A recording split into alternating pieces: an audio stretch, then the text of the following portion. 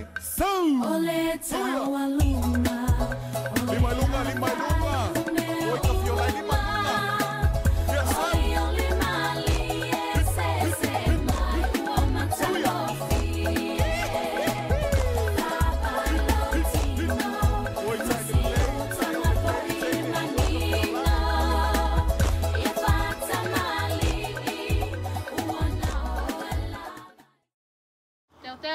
full. Vaiko whakalave lave, whakalave lave ki la paha. Ko e whakamalu anga, o e whiwhine tui tonga.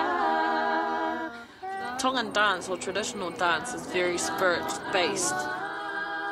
They say that if you're not lotolele or if you're not willing to offer a little bit of yourself in your performance, your performance will not be a great performance. Your favor isn't going to be malie.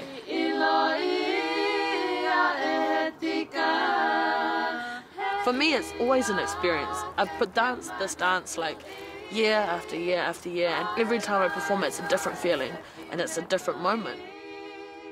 I was like, oh my gosh, I'm dancing dances that were like done by my grandmothers and my aunties from back then. And that's what I fell in love with. And I tell everyone, you have to learn this dance. I know it's old and it sounds boring and it's slow, but you'll fall in love with it once you learn it. And they have.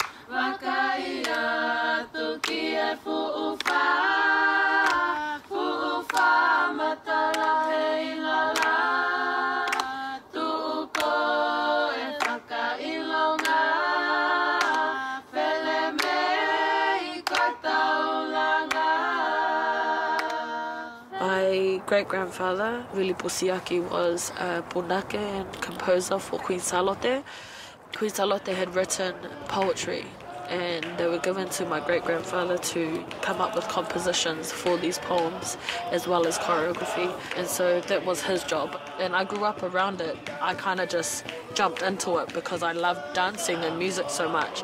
I was the one that remembered the actions that my dad was teaching. So he wouldn't have to be like, oh, Leah, what's that? What was the action for this verse? I'd be like, oh, it's like this, dad, like this. So that was the learning experience in our household, eh, mum? Yeah, I think it's running in the blood. yeah.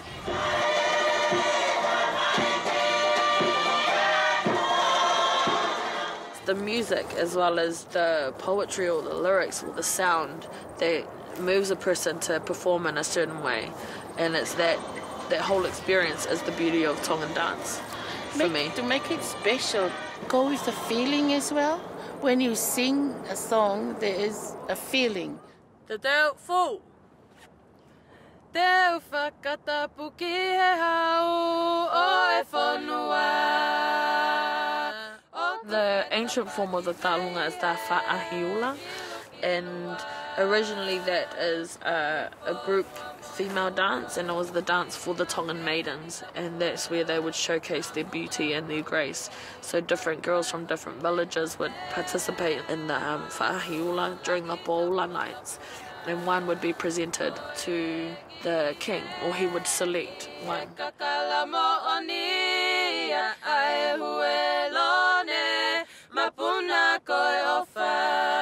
Like the original Tongan beauty is not skinny, um, shapely, shapely girls. So girls who have meat on them and the way that they move, the way that they li haka, like the, the way that they turn their hands and the way that they should shape their bodies to their movement. And you'll see that in the fa'ahiula. Watu e lau manu With Tongan dance, when the girls wear their costumes, it's like the girl who has like the nice calves. It's not the feet, it's the fo'ivae, like it's the actual shape of the shape. leg. So like any girls who has skinny legs, they'll be like, oh, vae kovi, like really bad legs. But the girls who had like nice calves and then nice thighs, like tongue Tongan legs, they'll be like, oh, taine fo'ivae. You're like really nice.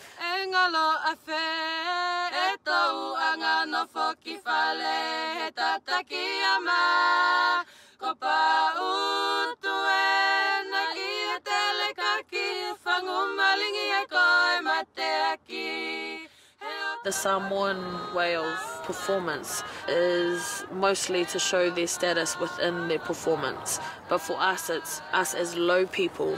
We go to perform for the higher people. So the taulunga doesn't really have a status. The girl who dances isn't important for them to have that status. It's more about showcasing their beauty and grace through movement. And the tau'olunga is for the people to whakameite for the king and the, the nobles and all that. It's common people. Dance they for do the dancing above. for the people above. and that was the history. When the king married into Samoa, and then we started having those connections, then we started adopting like names like the Taolunga. We called it the Taolunga because it was it had no connotations with war or anything like that. So like how the Taolunga in Samoa, they use the, the knife as part of their dance. We don't use any weapon. So it's the Taolunga is to hit, and Olunga means above. Yeah.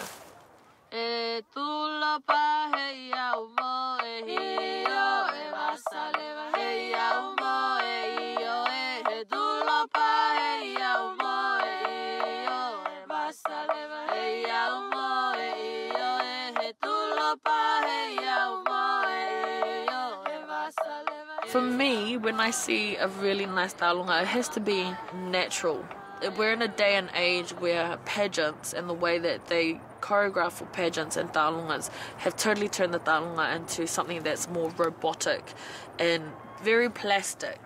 But when you have a taulunga that's very natural, it's all from inside that comes out. So when they talk about mafana and spirit and um, malia, those are all things that you find within yourself to bring out when, and then when people watch it, they need to feel that as well. You have to be willing to offer, you know, a little bit of your spirit in order for the performance to be amazing, or for other people to look and feel what it is that you're feeling.